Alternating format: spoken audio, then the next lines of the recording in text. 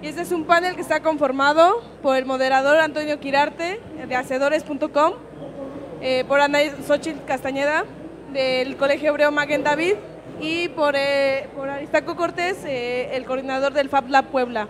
Un aplauso, por favor. Hola, hola. ¿Se escucha bien? Perfecto. Bienvenidos. Esto está buenísimo, lleno de energía. ¿Ya habían estado antes en Campus Party? ¿No? ¿Quién se dedica a la educación? ¿Quién viene por intereses educativos? Perfecto, para estar un poquito más orientados.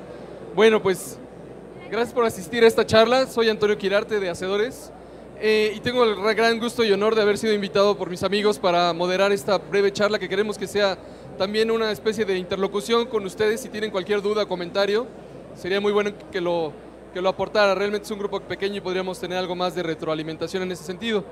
Eh, primeramente, eh, Soch y Aristarco les harán una breve presentación de lo que hacen actualmente en sus trabajos eh, y de su experiencia que tienen en todo lo que tiene que ver con la educación Maker llevada a sus escuelas o estudios. Empezamos contigo, Aristarco, porque veo que está aquí la pantalla. Perfecto. Sí, muchas gracias. Nada más. Hola, ¿qué tal? ¿Cómo están? Muy buenas, muy buenas tardes. Mi nombre es Aristarco Cortés. Yo vengo del, del Fab Lab Puebla. Eh, rápidamente les, les voy a decir qué es lo que hacemos. Nosotros, el Fab Lab es un centro que está dentro del Instituto de Diseño e Innovación Tecnológica, dentro de la Ibero Puebla. Eh, es un espacio de 8.500 metros cuadrados. Eh, realmente, bueno, pues es uno de los... Es, es, el taller de fabricación digital abierto al público más grande del, del país. Ahí hacemos, no solo son los laboratorios de la escuela, sino también eh, hacemos proyectos de CONACID, hacemos, eh, apoyamos muchos proyectos de economía social, les damos eh, este, este input de tecnología a empresas en la base de la, de la pirámide. Tenemos espacios de coworking, espacios de innovación tecnológica, espacios de, de diseño, generación de empresas, tenemos una, una, una incubadora y contamos con pues, prácticamente toda la juguetería.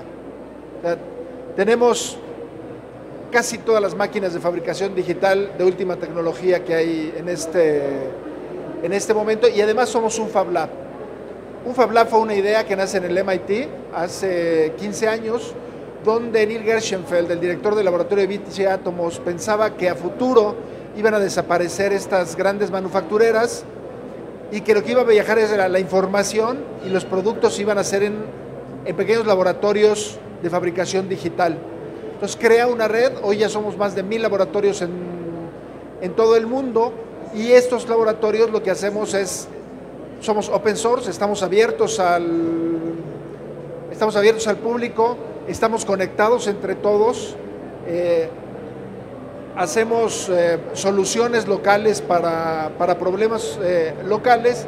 Y dentro de los requisitos para hacer Fab Lab nos pidieron que tenemos que participar en una cosa que se llama el Fab Academy. Y de esta idea nace la idea de educación maker dentro de la, de la universidad. El Fab Academy son seis meses muy intensivos. Eh, los, los, toma uno directamente a distancia del MIT, son tres horas en el MIT, y luego había que desarrollar una práctica durante todo, durante todo una, una semana. Eh, fuimos los dos primeros graduados aquí en, en México y a raíz de esta experiencia arrancamos primero con dos materias en la universidad. Una materia que se llama cómo hacer casi cualquier cosa, nada humilde el título, y la otra es un taller de prototipos, perdón, un proyecto multidisciplinar de prototipos. Entonces, una nos lleva a la, a la, otra, a la otra materia. El objetivo de cómo hacer casi cualquier cosa es, es, eso, es una materia que está abierta a toda la universidad. Puede entrar gente de educación, puede entrar gente de diseño, puede entrar gente de arquitectura, de medio ambiente, de animación digital. Y la idea es que pase por todo este proceso de, de fabricación para que puedan eh, hacer realidad cualquier proyecto que, que, tengan. Muchas veces nos dimos cuenta que muchos chavos se detienen en el cómo, se tienen el qué, pero no saben el cómo. Y esta materia lo que está ayudándoles es al cómo, a cómo hacer todas estas, estas cosas. El programa es muy parecido al del MIT, es un poco más sencillo, pero ahí les enseñamos dibujo 2D, dibujo 3D, eh, corte láser, eh, corte con router CNC, materiales, composites, les enseñamos resinas y todo esto es, damos dos clases a la semana, es una, una clase teoría y el resto de la semana el laboratorio está abierto para los chavos a hacer puras prácticas. Todo se presenta en una página de internet. Los chavos lo primero que tienen que aprender es hacer una página de internet y cada semana van a ir presentando cada una de sus prácticas y van avanzando en un proyecto final. El proyecto final puede ser cualquier cosa que tenga un sensor que capte algo del medio ambiente y que por medio de un programa actúe en consecuencia, haga, haga algo. Puede ser una máquina o puede ser, por ejemplo, el caso de esta chica, ella, ella estudia medio ambiente. Jamás en su vida había visto un Arduino, jamás había utilizado AutoCAD, jamás había impreso en 3D, jamás había hecho nada con resinas entró a nuestra materia. En cuatro meses esta chica de medio ambiente lo que quería hacer era, eh, era un sensor eh, electrónico que sensara temperatura, humedad y cantidad de luz que están recibiendo las plantas. Ella hizo sus, sus macetas y este aparatito le avisa vía Bluetooth si le falta agua o, tiene mucho, mucha luz, si cambiaron los parámetros de, que ella había programado para sus plantas. La parte interesante es que esta chamaca jamás había hecho nada maker. Ella tenía su idea y no sabía cómo hacerla. Llega la materia y en cuatro meses es capaz de hacer una cosa como esta, de impresión 3D, de, fabricación. Y como esto tenemos, pues ya ahorita son más de 80 casos diferentes de chicos que, como los diseñadores, hay una diseñadora que me gustó mucho, que con un guante eh, hacía una experiencia, personalizaba experiencias en museos.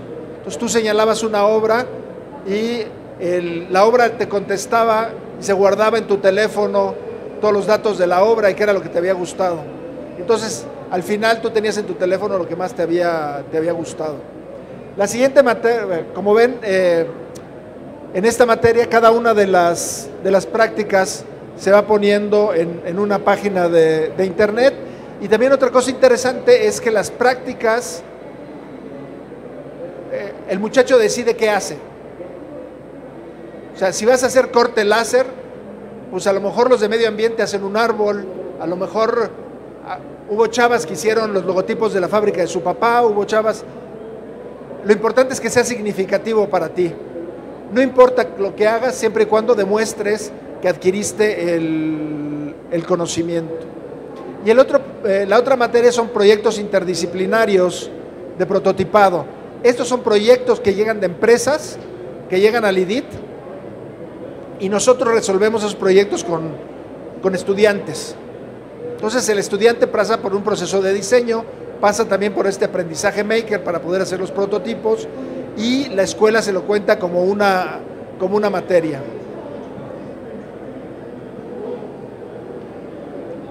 Este año ya, ya evolucionamos, es, una cosa bien curiosa porque los ingenieros no habían participado en, esta materia. Participaban todas las carreras menos los, los, ingenieros porque están en el entendido de que ellos son mejores, que ellos, sus proyectos son como más profundos, como con más conocimiento. La realidad es que los proyectos que salen de esta materia de muchachos de otras carreras son mucho mejores que los proyectos de ingeniería. ¿Y qué sucedió? Que ahora los ingenieros quieren también la materia, pero el esquema es diferente.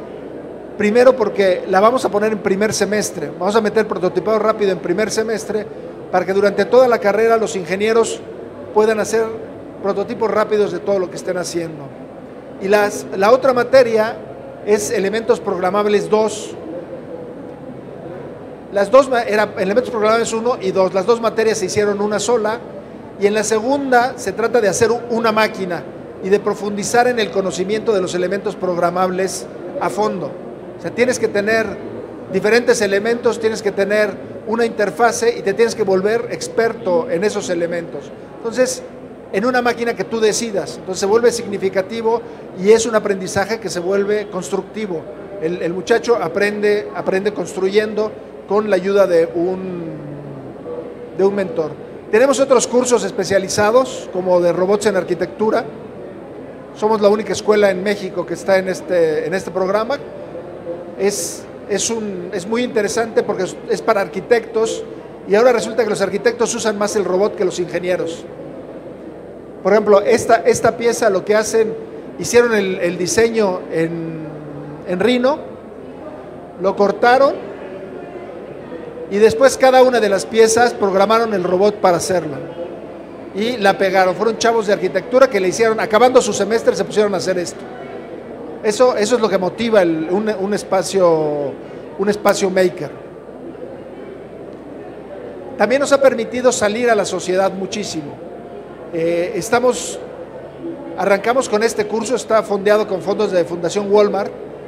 En este curso le estamos enseñando a artesanos fabricación digital para que todas las todas actividades que no están generando valor las haga una máquina en lugar del artesano. Entonces que el artesano no pase horas cortando una maderita, que lo, les enseñamos a dibujar, lo corta una máquina láser y ellos hacen las actividades de, de, de, de valor, mejoran la artesanía, eh, se dedican a vender, a promocionar, a hacer marketing. Y bueno, eh, ahora eh, en agosto empezamos con 120, o sea, cerramos un grupo de 120 artesanos que, que arrancamos en, en, febrero. Tenemos otros cursos, eh, tenemos un curso ya, de, para los niños, desde los 12 años estamos enseñando fabricación digital. Este año le comentaba a Toño que arrancamos en prepas. En la prepa lo que estamos viendo es, sí, maker, pero como maker y yo creo que Ana Xochitl va a hablar de eso, refuerza otros aprendizajes, refuerza las matemáticas, refuerza la física, refuerza eh, estudios de ciencia. Hemos entrado a temas de, de biología y a temas de, de, cerámica. Y me gustaría terminar nada más con, con algunas reflexiones. La primera es que los equipos no son un fin, son, son una herramienta para adquirir el conocimiento porque mucha gente se centra en un equipo como la enciclopedia, lo importante es tener una pantalla y luego no sabes para qué sirve la pantalla, ¿no? Entonces, lo importante es reforzar el, el conocimiento. El segundo es que construir lleva a un nivel superior de entendimiento de las cosas, porque utilizas todos los sentidos. Es, y seguramente tú lo has visto, tú lo, tú lo debes haber visto, literalmente se les ve a los chavos cuando les cae el 20. O sea, cuando están entendiendo una cosa y abren los ojos, es de, de verdad que es emocionante cuando das una clase, una clase así. Otra cosa que hemos visto es que cuando el aprendiz es cuando significa algo para el alumno hacer la cosa, el aprendizaje es mucho más profundo. O sea, cuando haces algo que es importante para ti, aprendes mucho mejor hacer las, las cosas. Y finalmente, bueno, entendemos que el, el aprendizaje ocurre cuando la experiencia se conecta con lo que habías aprendido anteriormente, ¿no? Muchas gracias.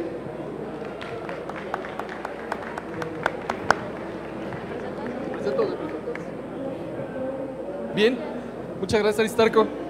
Bien, ahora Xochitl Castañeda nos platicará de su experiencia en la creación de un espacio justamente como estos que acaba de platicar Aristarco, pero insertado completamente en una escuela K12, es decir, desde el kinder hasta la preparatoria, y cómo están llevando a cabo ya todas estas dinámicas para poder realmente enseñar, ¿no? Muchas gracias, Toño. Eh, y muchas gracias, Aristarco, por compartir también conmigo. Justamente eh, nosotros bueno, yo vengo representando un colegio de educación básica en donde también nos estamos preguntando por todo este tipo de conocimientos y es muy interesante poderlo presentar junto con, con Aristarco en el Fab Lab, en donde ellos lo empiezan a ver hasta el nivel universitario, hasta el nivel superior. Y para nosotros el reto es que este tipo de aprendizajes debe de comenzar desde una edad mucho más temprana. ¿Por qué? Porque son los nuevos alfabetismos que debemos de lograr en los alumnos. Nosotros estamos conscientes de que tenemos alumnos que están viviendo a través de los dispositivos móviles, que se la pasan a, haciendo toda su vida a través de su celular, a través de su iPad, y que a estos nuevos seres humanos los tenemos que educar de una manera diferente.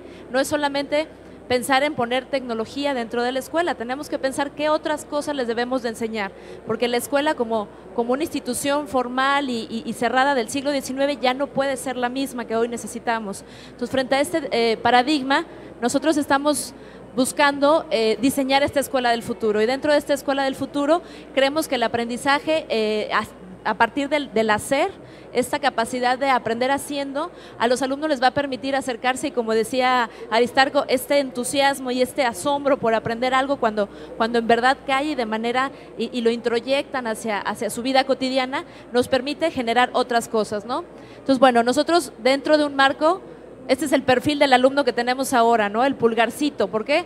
Porque se la pasa moviendo todo, sea, hace todas sus interacciones a través del celular y por medio de sus pulgares. Entonces, este pulgarcito es el que tenemos enfrente y el que nos preocupa convocarlo a la educación para que en verdad se divierta en ella, para que aprenda de otra manera y para que se interese para seguir estudiando el, eh, el día de mañana. También nosotros creemos que en este momento tenemos un, reto para, dentro de 20 años no sabemos qué profesiones van a existir. Aquí mismo podemos ver, por ejemplo, un robot que está aquí enfrente, podemos ver drones por ahí que no sé si ya volaron el día de hoy o van a volar más tarde. Y, esas son cosas, son especializaciones que el día de mañana nuestros niños van a necesitar saber hacer. Entonces, queremos preparar a los alumnos para este tipo de profesiones que tal vez existan o tal vez no, pero queremos estar preparados para ello. Entonces, bueno, para lograr todo esto, lo que nosotros nos hicimos fue hacernos la pregunta correcta, ¿no? ¿Cómo vamos a cambiar a la escuela para enfrentar este mundo tecnológico? ¿Cómo vamos a preparar a los seres humanos para poder lidiar con todas estas cosas que, que tenemos enfrente? Y para eso nosotros creamos este proyecto y el día de hoy me gustaría comentarles cómo estamos implementando hace seis meses ya un makerspace dentro de una escuela. Eh, nos, nos, enorgullece bastante poder decir que somos el primer makerspace dentro de una escuela de educación básica aquí en México. Nosotros abrimos en diciembre apenas este espacio. Este espacio consta de diferentes áreas como fabricación digital, electrónica, metalmecánica, carpintería, eh, textiles y crafting una, un área pequeña como de wetworks, en donde podemos hacer uso de diferentes eh, químicos o materiales que requieren de calor o de, o de enfriamiento. En este espacio nosotros estamos trabajando con niños de bachillerato, así como de primaria y de kinder. Aquí está la encargada del espacio de bachillerato, Emelín, el jefe también del espacio, Mateo, y en verdad nos, nos, emociona muchísimo que este espacio, así como lo ven aquí, se llena todos los días de niños con entusiasmo, con ganas de aprender, con ganas de conocer todas estas herramientas que, como bien decía Aristarco, no es la herramienta por sí misma, sino cómo lograr hacer que el niño integre estas herramientas y estas habilidades en su aprendizaje cotidiano, cómo desde la materia de biología lo podemos llevar al espacio del Makerspace para que cree una molécula en una impresora en 3D, para que entienda en verdad la forma de la molécula, para que pueda comprenderlo a fondo. ¿Cómo podemos hacer que los niños de primaria, este es el espacio de primaria, por ejemplo, comiencen a aprender lo que, lo que significa el, modelado en 3D? Que mandar imprimir en 3D no solamente es apretar un botón y ya, sino la esencia del diseño, del diseño, del prototipiar. ¿Para qué me va a servir? Para crear una pieza única que no existe, para hacer otro proyecto, para poder crear aquello que, se me ocurrió como en un taller de inventos y crear un juguete nuevo o diferente. Entonces, hemos diseñado espacios para kinder, para primaria y para bachillerato. Pero esto nos enfrenta a un reto más, que es cómo integrarlo en la currícula de la SEP, cómo integrarlo en la currícula de la UNAM, porque estamos en el, en el nivel bachillerato, estamos registrados ante la UNAM. Entonces, bueno, ¿Por qué, se nos ocurrió todo esto? Porque coincidimos con, lo que ya presentaba Aristarco, ¿no? El movimiento Maker es un movimiento que nos invita al aprendizaje eh, de esta forma, al aprendizaje colaborativo, el hacer un proyecto, el hacer un prototipo, el investigar y compartir con otros lo que estamos haciendo. Ese es un aprendizaje colaborativo que en la pedagogía se viene hablando desde hace muchísimos años. John Dewey hablaba de que el aprendizaje es, es a partir del hacer, de que una vez que el niño aprende la parte concreta, lo puede llevar a su aprendizaje cotidiano. Entonces, nosotros creemos que estos espacios lo que hacen es producir este, e, e, esta colaboración. Lo que permiten es más creatividad, es buscar diseñar proyectos, es buscar resolver problemas. Y desde ahí nosotros fundamentamos nuestro proyecto, desde el movimiento Maker y el Do It Yourself. Entonces, bueno, aquí tenemos una muestra de los niños eh, abriendo eh, este material electrónico que trajeron de sus casas, que ya no servía y que de repente empiezan a acumular, todos yo creo que tenemos acumulación de, de basura electrónica y uno de los principales ejes de este proyecto, por ejemplo, es fomentar la ciudadanía digital en sentido de por qué tenemos tanta basura electrónica y qué podemos todavía reusar de ese material. ¿Para qué queremos hacer esto? Para desarrollar este pensamiento crítico en los alumnos, que desde temprana edad debe de cuestionarse cómo funcionan las cosas, qué tienen adentro los aparatos que nosotros consumimos día a día, como, ay, salió un nuevo teléfono, voy y lo adquiero, pero ¿cómo funciona? ¿Por qué funciona de esa manera? ¿Y cómo yo lo puedo intervenir? Ese poder intervenir las cosas electrónicas o mecánicas le da al niño un poder que no sabía que tenía, que no era capaz de hacer. Y ese poder le permite también ir acercándose a otros aprendizajes que también le van a interesar. Entonces, este pensamiento crítico para nosotros es muy valioso porque la educación eh, a nivel básico tiene que empezar a, generar eh, seres humanos con mayor capacidad de innovación y de creatividad. Y si todo lo ven resuelto, no ven un reto frente a ellos, no los vamos a lograr enfrentar al mundo del mañana. Otro de los elementos que para nosotros es muy importante es cómo, cómo en verdad empoderarlos a nivel social, cómo decir, bueno, si yo tengo un problema social allá afuera en la comunidad, en, en mi servicio social o en, mi, en la casa, ¿cómo puedo yo resolver ese problema? ¿Cómo puedo yo encontrar las diferentes maneras para encontrar soluciones? Y Aristarco ahorita nos lo mencionaba con, con la chica esta de, eh, de la carrera de, de, de ambiente, ¿no? De, educación ambiental ella se dio cuenta que podía hacer ese tipo de proyectos hasta la universidad. Imagínense si logramos que los niños de educación básica de toda la, República pudieran empezar a resolver problemas de ese nivel en su vida cotidiana, en su comunidad o en su propia, en su propia casa. ¿no? Para eso nosotros eh, creemos que integrar actividades maker dentro de la currícula es el principal objetivo. Pero, eh, y bueno, nuestro, nuestro modelo educativo lo que está promoviendo es justo cambiar todas estas dimensiones que la educación tiene frente, ¿no? Nosotros estamos acostumbrados y vivimos y fuimos educados en una educación básica con tiempos definidos. Las clases duran un determinado tiempo y no se mezclan. Los grados son establecidos desde el principio del ciclo escolar y no hay una interacción entre las generaciones. No tenemos un nuevo sistema de evaluación, aunque se hable de educación por competencias, seguimos evaluando por medio de exámenes. No no sabemos cómo vincular o hacer proyectos interdisciplinarios, aunque la educación por competencias nos, invita a ello, seguimos dividiendo la materia de español con la materia de ciencias, con la materia de historia. Entonces, para nosotros el reto es cambiar todas estas dimensiones y poderlas integrar desde un lugar diferente.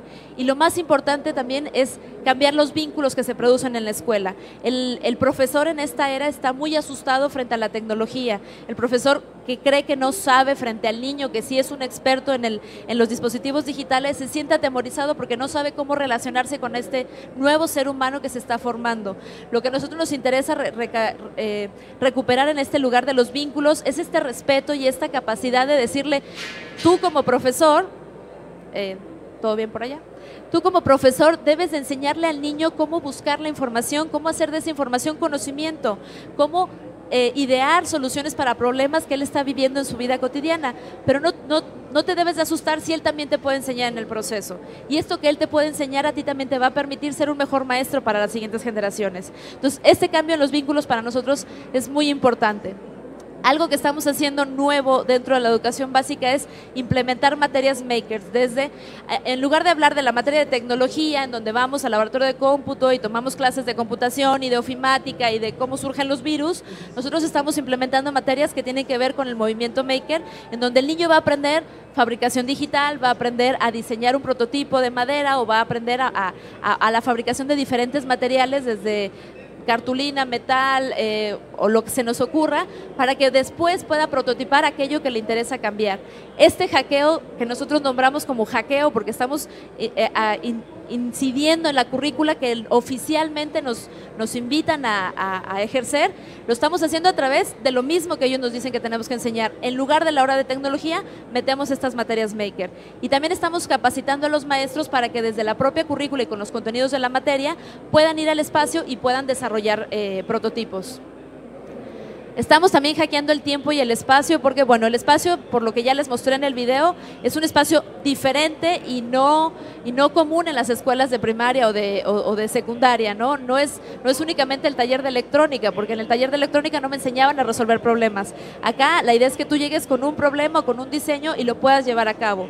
Eh, en, este, en este primer semestre tuvimos, por ejemplo, unos alumnos de bachillerato que al ver toda la basura electrónica que teníamos en la escuela, con los pizarrones inteligentes que ya no se usaban, pidieron usar ese material y reciclarlo para elaborar un proyecto que para ellos era importante, una mesa con interactividad y con proyección.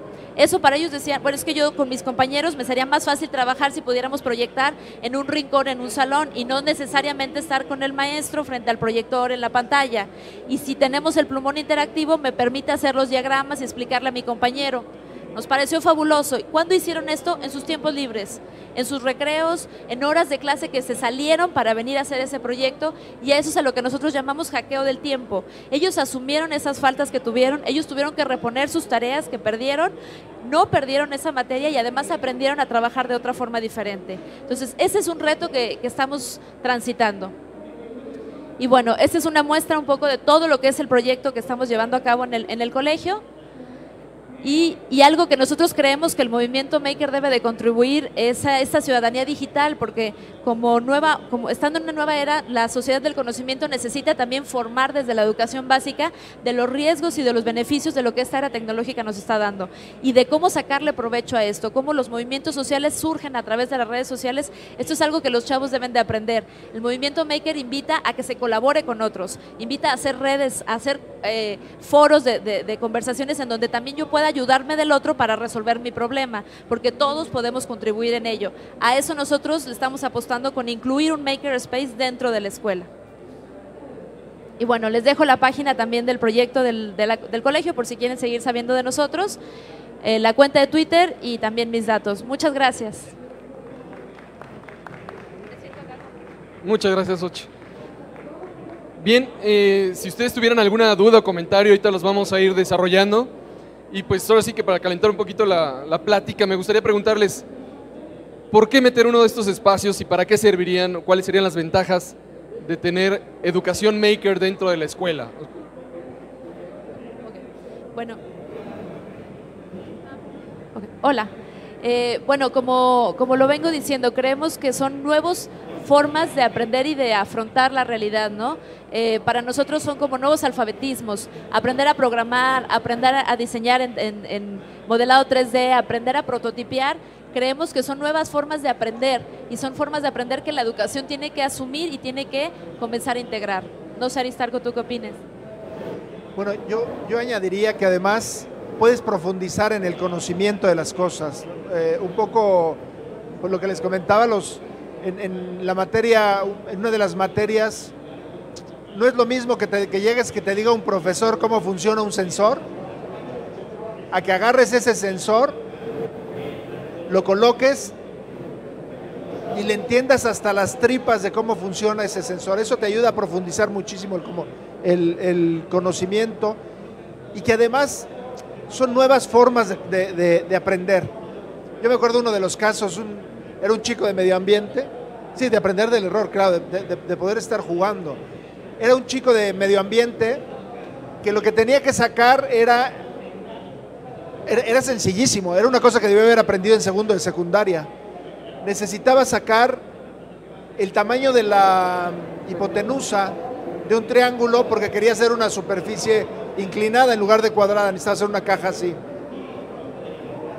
Bueno, o sea, volverle a explicar para qué servía una tangente, para poder sacar el cateto opuesto y poder sacar el tamaño de la hipotenusa a un chavo que está terminando la universidad. O sea, y, que hasta terminando la universidad, gracias a que necesitaba hacerlo, aprendió que era una tangente. Era, o sea, si eso lo hubiera aprendido en primaria o en, en ese momento básico, jamás se le hubiera olvidado, ¿no? Y eso solo lo aprendes haciendo. Y todos esos conocimientos, por lo que comentan, mucho tiene que ver, pareciera que es cuestión ingenieril, ¿no? Solo ciencias, solo ingenieros, eh, eh, solo ese tipo de materias se pueden llevar a cabo en un makerspace o un espacio así. Eh, bueno, no, en nuestra experiencia nosotros nos hemos topado con la apertura también de las ciencias de humanidades o las ciencias de español, en donde lo que buscan también es aterrizar estos conceptos más abstractos en la parte concreta, ¿no? Por ejemplo, tuvimos un maestro que da literatura y dentro de la materia de literatura para poder llamar la atención de los chavos y que pudieran completar el libro y, invitarlos a crear otras historias a partir de, ese, de esa lectura que les, les asignaba los invitó a hacer juegos de mesa o alguna especie de, de, reto dentro del Makerspace. Entonces, a partir de la novela, crearon toda una, una, historia para crear el juego y fueron y lo construyeron en el juego. Entonces, yo creo que las posibilidades no se limitan únicamente a, la parte de las ciencias, ¿no? Y ahí podríamos hablar un poquito de lo que es el STEAM y el STEM, STEM, ¿no? O sea, justo cuando metemos la parte de arte, cuando metemos la parte de humanidades, también le damos otro enfoque y permitimos al alumno cruzar y hacer un conocimiento más interdisciplinario bueno, ciertamente se ha, promovido que es más fácil el STEM, lo que es ciencia, tecnología, matemáticas, ingeniería, pero como dice Xochitl, cuando tú le das estas herramientas a un artista, el, nivel de la obra se, exponencia, se, expande hacia todos, hacia todos lados. Eh, y nosotros lo que estamos haciendo en, el caso de la preparatoria de la Ibero en Puebla es, se está cerrando el taller de robótica y se está abriendo el taller de fabricación digital. Entonces, los chavos en lugar, los chavos que quieren hacer robots, pueden hacerlos en fabricación digital, pero abrirlo como fabricación digital está llegando gente que iba para diseño, que iba para arquitectura, que iba para, para más artes, que iba para diseño gráfico, entonces, mucha más gente puede entrar en estos, ya con este concepto. Y ahorita comentaste profesores. ¿Cómo ha sido la aceptación de los profesores ante pues, esta revolución? ¿No se sienten amenazados con esta nueva corriente educativa que se viene por ahí? Bueno, en el caso de, nuestra experiencia en el colegio, tenemos maestros, como ya lo comenté, de, educación normalista, de, de, primaria, y tenemos maestros en preparatoria que sí tienen a lo mejor eh, especializaciones más cercanas al movimiento maker.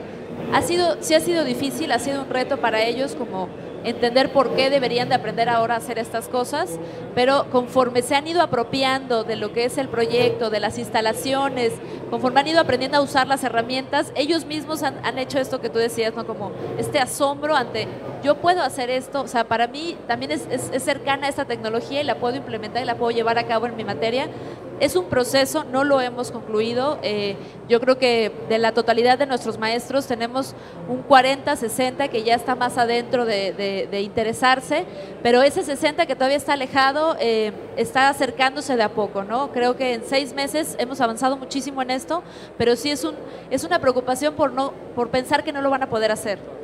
Más que, una, eh, más que estar en contra de ello, es, es una resistencia por miedo, yo creo mi, experiencia es, es similar. Eh, por ejemplo, en el caso del, de la gente de diseño industrial, es, es, es, muy curioso, pero a nuestros alumnos, cuando presentan sus trabajos en la, en la carrera de diseño industrial, no los dejan utilizar electrónica. Imagínense, eh, el coordinador de la carrera de diseño les prohíbe utilizar electrónica a sus muchachos. Cuando, no, hace ningún sentido, ¿no? O sea, si todo tiene electrónica, bueno, no, porque, porque es un juguete el Arduino. La verdad es que hay, un desconocimiento profundo del tema. Lo mismo decíamos de, los ingenieros. Los ingenieros no, no quieren entrar a, a este tema porque sus ingenieros se contaminan con diseñadores y con, arquitectos. Es, una cosa muy rara, ha habido muchas resistencias, pero por otro lado también de pronto encuentras campeones del, tema. La, coordinadora de medio ambiente dice, esto me encanta y mis chavos tienen que, saberlo. Ella no sabe nada de, corte láser o de maker, sin embargo entiende que es, es, parte del futuro y que es un conocimiento que tiene que tener la, la gente, ¿no? Tengo más preguntas para ustedes, pero me gustaría saber si ustedes tienen alguna pregunta para ellos, por favor. Hola, muy buenas tardes. Este, yo vengo del estado de Campeche. Eh, soy eh, licenciada, licenciada en literatura latinoamericana. Entonces, algo eh, muy interesante lo que comentaba Xochitl es con respecto a la unión de, de esta cuestión tecnológica con las ciencias sociales y las humanidades. Desde mi perfil como humanista, he trabajado con alumnos de preparatoria y ha sido muy necesario que tú no puedes llegar con un chavo y le dices, ¿sabes qué? Léete Pedro Páramo. Y el chavo te dice, oye, qué flojera, no quiero, o sea, no. Entonces tienes que idearte de qué manera vas a hacer con el chavo que él se acerque a la novela, ¿no? Entonces, ¿qué empezamos a implementar? Eh, que los chavos, darles fragmentos y explotar esas capacidades que ellos tienen. Habían chicos que tenían un afán a dibujar, otros que les gustaba la programación. Entonces hicieron un cómic muy interesante, este, digital. Y eso es, es padre porque estás haciendo que los chavos se acerquen a la cuestión de literatura, pero también se estén acercando a, esta, a, a, la cuestión tecnológica, ¿no? O sea, yo realmente estoy como que out en la cuestión, pero también desde otra parte estuve trabajando en una revista y ahí es donde también vemos la necesidad de la profesionalización del editor. En los congresos que tuvimos referente a edición, pudimos ver que cada vez se acercan más diseñadores gráficos para el, el, enmaquetado de la revista, ¿no? Y esas son cuestiones que en, universidad, en el caso de, de, las humanidades, no tenemos esa profesionalización. Sí tenemos como todo el bagaje social, humanista, pero jamás tenemos ese acercamiento hasta que por una oportunidad tú te acercas a trabajar y te das cuenta que es un campo grandísimo. O sea, las revistas electrónicas, que no solamente es presentar la página, sino tiene un diseño atrás. Aparte también todo ahorita eh, la cuestión del Open Journal System, que abierto al público, las políticas que tienen que en, en línea. Entonces es muy interesante pues ver cómo la tecnología está de la mano con todos nosotros. O sea, no, no es... Es que ciencias sociales no tiene nada que ver, o sea, ni humanidades. O sea, de viva experiencia te digo que tienen muy buenos resultados, ¿no? Y es muy interesante que podamos, pues, unir y ser interdisciplinarios. Gracias. Muchas gracias por tu aportación. A, mí me gustaría, sí, claro. me gustaría hacer un, un, un comentario abundando. Eh, es que no estás out de la ecuación. La verdad es que las ciencias sociales y el arte le dan mucha pertinencia a este tema. si ustedes, les voy a poner un, ejemplo, tenías un chico en servicio social en un invernadero en el que estamos haciendo investigación de, para que crezcan más rápido las plantas y tal. Y la aportación del chavo era ponerle al invernadero eh, un sistema para que lo pudiera abrir con su huella digital. O sea, llevaba semanas en el invernadero y lo quería sofisticar cuando adentro no teníamos sistemas de riego, no teníamos sistemas de qué plantas sembrar, no teníamos este, no sé, análisis de suelo, o sea, muchísimas cosas de pertinencia. Y la gente de, de ciencias sociales nos puede ayudar a darle mucha pertinencia a todo esto. ¿no?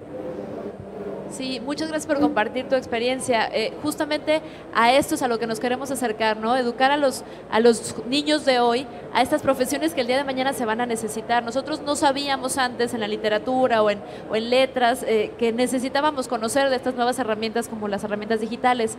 El proyecto que nosotros estamos eh, desarrollando se llama justamente Cultura Digital y no es porque nos centremos en la parte digital, sino más bien en lo cultural, porque la cultura de, la sociedad del conocimiento es esto, es en donde se cruza la tecnología con todas las ciencias y con todas las, disciplinas. Entonces, hacernos conscientes de esto y reflexionar a partir de ello desde temprana edad nos va a permitir generar profesionistas del mañana con una apertura a querer aprender más y aprender de todo aprender de todo lo que me apasione y lo que me va a servir, como bien dice Aristarco, a ponerle, a darle sentido a la tecnología, porque también cuando hablamos de ciudadanía digital lo que nos preocupa justo es esto, crear este sistema de apertura con la huella, ¿para qué? ¿Quién sabe? ¿Y qué le voy a poner? No lo sé, pero lo tengo que hacer con la huella, ¿no? O sea, esta ciudadanía digital es darle el sentido social a la tecnología, no por no vamos a resolver las cosas nada más porque sí, hay que, hay que darles un sentido y hay que dar, que resuelvan un problema, ¿no? Y bueno, me gustaría tu dato para poder compartir con el maestro de mi colegio para que puedan eh, compartir experiencias, porque en verdad ha sido muy, muy interesante ese reto. Padrísimo. Por aquí había otra pregunta, perdón, la habían levantado antes por acá, disculpe. Eh, yo primero quiero felicitarlos porque es muy raro ver, sobre todo en este país, pues crear estos espacios desde la primaria, en la universidad, en cualquier lugar yo creo que es un logro.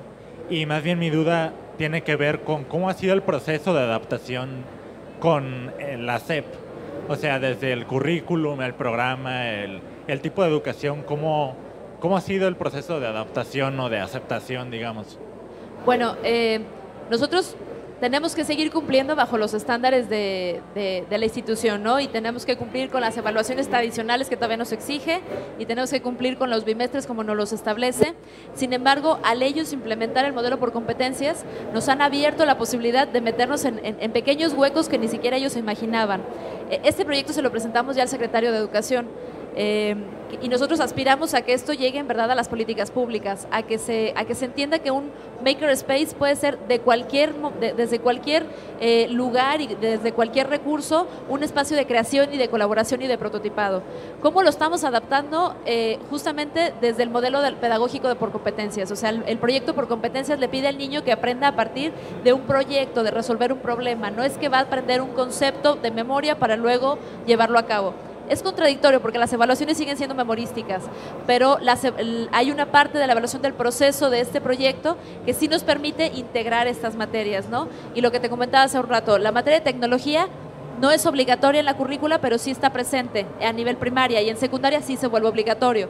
Pero nosotros lo que estamos haciendo es hacer modelos blended, en donde metemos la currícula obligatoria de la SEP en, línea, como en Flip Classroom o en, en educación virtual, y en la presencial los llevamos a estos espacios. Entonces, estamos en ese proceso, no lo tenemos completamente resuelto, pero el, camino sabemos que es por ahí, ¿no? Por seguir a aprender a partir de los proyectos y no por las cuestiones de contenidos únicamente. Sí, bueno, un poco es, es lo mismo y, también el tema de, bueno, en el caso de la universidad, los profesores que están comenzando a adoptar esto, ¿no? Por ejemplo, las prácticas de física a partir de este semestre son, llevan fabricación digital. O sea, sí vas a hacer un plano inclinado, pero, pero lo vas a hacer en una cortadora láser y lo vas a hacer, o sea, vas, vas metiendo esto en la, en la educación, ¿no? Cumpliendo los requisitos. Hola, buenas tardes. Soy Lauro de Campeche. Este, bueno, esto no es una pregunta, sino más que nada es, un planteamiento. Eh, todo lo que ustedes plantean es eh, pues sumamente prometedor y pues ya es una realidad que necesitamos. Eso está, es, eso es un hecho, ¿no? Pero bueno, aprovechando que es un movimiento nuevo, pues me gustaría saber o poder entender cuál es la responsabilidad social que ustedes, cuál es la responsabilidad social del proyecto. ¿A qué me refiero? Eh, vamos a impulsar a los jóvenes o a los niños a crear eh, algo para el futuro, ¿no? Pero pues tampoco vamos a permitir como en, Arabia Saudita que creen una bomba para, para destruir el, eh, o para hacer daño, ¿no? E, esa es mi, mi, postura, ¿no? ¿Qué, qué, tanto, eh, ¿Qué tanto de la mano va con los valores, con, con, este, con los principios, con el amor a la tierra, con el amor a México, ¿no?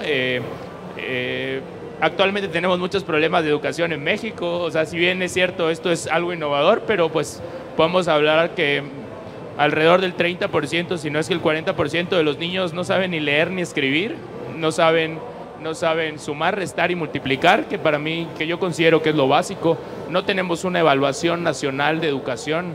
Entonces, todos esos factores dificultan la entrada, la implementación de estos modelos, pero esto es tan bueno esto es lo que necesitamos, que qué estrategias podemos hacer nosotros los jóvenes, nosotros la sociedad, nosotros los que estamos comprometidos con el desarrollo para poder, para, para poder implementarlo, de qué forma y todo apegado pues igual a los valores, a, a hacer el bien al prójimo.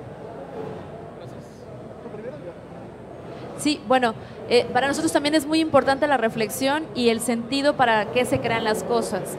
Nosotros tuvimos un ejemplo eh, en la escuela de un niño de, primero de bachillerato que tiende a ser muy depresivo y que tiende a, buscar como sacar como toda su ansiedad por medio de diferentes eh, como canales, ¿no? Cuando vio el Maker Space, lo primero que quiso hacer en, el espacio fue hacer un arma. Pues yo quiero construir un arma, porque si aquí la puedo hacer, ¿por qué no me van a dejar? El trabajo que se hizo fue acompañado también de las psicólogas del colegio y con los mentores en el, espacio para poderle preguntar y, cuestionarnos para qué la quería. No, no es una cuestión de prohibirle hacerle, sino reflexionar el para qué y cómo poder hacerla para un bien común. Él, terminó haciendo una escultura que reflexionaba sobre cómo las guerras producen más daño a nivel económico y humano que de lo que pueden resolver y que deberíamos de buscar la paz por otra forma. Ese trabajo me parece que responde un poco a tu pregunta. No estamos, eh, tenemos el mismo miedo que tú, de que los niños creen cosas que nos puedan perjudicar. pero no les podemos simplemente prohibir o dejar de hablar del tema porque entonces los atraemos más hacia eso. La intención de, de hackear los vínculos, que era una de las, de las cosas que yo te mencionaba hace rato, tiene que ver con esta relación en donde el, el adolescente se ve identificado con el adulto que lo acompaña en su proceso de aprendizaje, que no le tiene miedo, que no lo deja de respetar, porque también el adulto lo escucha y lo respeta a él con sus ideas y juntos pueden trabajar en un aprendizaje común. Esta relación se está dando gracias a que este proyecto también fue resultado de lo que los niños pedían. Este, el, niño llega y toma una herramienta y nosotros si le damos la instrucción necesaria lo dejamos para que use esa herramienta por más peligrosa que sea. Y ese nivel de responsabilidad que el niño tiene porque se siente con el respeto del adulto no se hace por las palabras, se está haciendo en el, en el, en el día cotidiano. Entonces, para nosotros ha sido muy importante este tema y, creo que el fundamento social es este, son los valores y, es, y es la educación social que todos necesitamos. Con todo lo que me comentas de la parte eh, social y política del país, estoy completamente de acuerdo contigo, pero estoy segura que esos espacios juntos como sociedad los podemos crear y por eso mi intención de, de, de venir aquí y compartirlo para poder inspirarlos y para poder buscar cómo hacerlo. Existen eh, comunidades de makers que estamos buscando abrir espacios como estos en diferentes eh, estados del país, donde nosotros como equipos también estamos tratando de, de, enseñarle a los otros niños y de poderles donar herramienta. Todo este movimiento maker está basado en el open source. No es tan caro tener un maker space. Lo que es difícil es que nosotros nos atrevamos a hacerlo. Entonces, te invito a la comunidad y, vamos creando estrategias juntos. Bueno, en nuestro caso tienes mucha razón. Eh, nosotros somos una escuela jesuita y el, lema de, del instituto es sí a la tecnología, pero con pertinencia social. O sea, no, hablé a profundidad, uno de los programas más importantes que tenemos es de incubación de empresas de economía social. Son empresas en la base de la pirámide de tres o más personas que se juntan a hacer un proyecto y nosotros lo que les damos este, es este, este input tecnológico para que mejoren sus productos, para que estandaricen sus procesos. Estamos trabajando con el Ayuntamiento de Puebla para que ese modelo sea el modelo de ataque, de combate a la violencia. Fíjate lo que estamos diciendo. Combate a la violencia y a la pobreza en el municipio de Puebla, porque ustedes no están para saberlo, pero el municipio con más pobres en el país es Puebla. Entonces, es, un, problema, es un problema grave. Estamos también participando, concursando con USAID para que esta estrategia sea el combate a la violencia y a la pobreza en México y Centroamérica de parte de USAID. Entonces, es importante eso y también es mucho más importante, necesitamos evangelizadores. Necesitamos mucha más gente convencida de esto y que vaya y que diga que se puede hacer y que como, como, como Toño, como Xochitl, como tu servidor, o sea, no, no puede ser que yo tenga que ir a convencer al coordinador de diseño que sí funciona, ¿no? Claro. Entonces hay que empezar por casa y hay que seguir. Muy bien, eh, última pregunta que teníamos por acá. Perdón, habías levantado tú primero la mano. Hola, este, antes que nada, muchas felicidades. Yo, yo vengo de Veracruz, eh, soy ingeniero en gestión empresarial y todo este rollo del maker me encanta. Yo abrí los ojos eh, antes de salir a la universidad, como comentaba con la alumna, que del caso me invitan a trabajar en un proyecto multidisciplinario. Estamos trabajando con impresión 3D. Después este, nos fue muy bien en ese proyecto, tuve que aprender muchas cosas, salí totalmente de mi zona de confort y dije, ¿por qué más personas que, que vienen de este tipo de carreras, no sé, económico-administrativos, no se involucran? Porque este, comentaban de nuevos perfiles que se van a abrir, ¿no? O sea, me imagino que en un futuro van a necesitar gente de finanzas que sea especialista en, en la gestión financiera de este tipo de tecnologías. Y después de que trabajamos en ello, empezamos a trabajar con una microempresa de impresión 3D en, en Coaxacualcos, exactamente. Tenemos cinco meses de operación, pero encontramos una resistencia este, de los maestros porque hemos ido a universidades, hemos, como comentaba el Señor, eh, estado de evangelizadores, prácticamente diciendo, ¿saben qué? Esta es la vía, descubrimos que esta es la vía para realizar totalmente un cambio. Y, y los mismos maestros, cuando le decíamos a chicos de, de arquitectura, íbamos con ellos, mira, te, te, ofrecemos el servicio de impresión 3D, puedes imprimir tus maquetas. Y los maestros le decían, los chavos decían, ok, yo quiero hacerlo, pero mi maestro me dice que no, que está mal. Y, y están como que cerrados a eso. Y una, entramos como en un estado, no sé si de desesperación o como decir, oye, tenemos esto, queremos que cada vez más personas conozcan, pero no encontrábamos la vía para cómo llegar a ser, eh, llegar a transmitir ese mensaje a todos los demás, ¿no?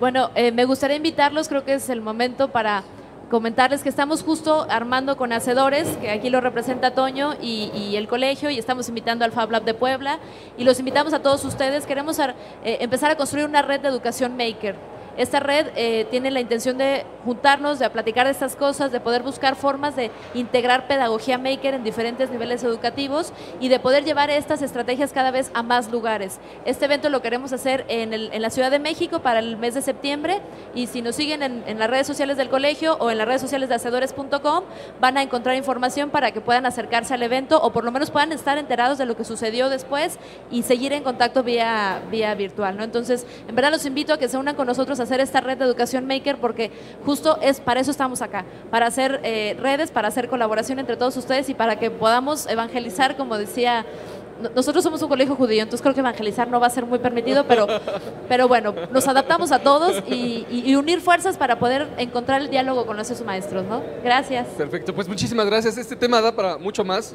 Aquí vamos a estar todo el día, en la tarde. Si tienen alguna duda, comentario, por favor acérquense para que podamos platicar y andar más todo esto, ¿sale? Muchísimas gracias. Un aplauso, por favor. Agradecemos a los exponentes y recordamos a los campuseros que tenemos eh, la conferencia en el escenario principal. Las actividades quedan eh, cerradas ahorita. Eh, los invitamos a pasar por allá.